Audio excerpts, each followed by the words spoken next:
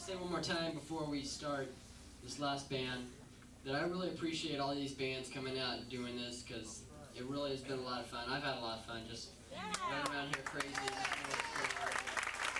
appreciate all these bands out here. Kerrville, Mr. Cohen, all these bands that came out. Okay, my last band, and then we're going to have a little entertainment. Uh, Trinity Church, Chris Taylor, sung by a new guy who is, if, if y'all don't have this tape, okay, the Idol Cure was good, alright, but this is better. This is Tonio K, I Handle Snakes.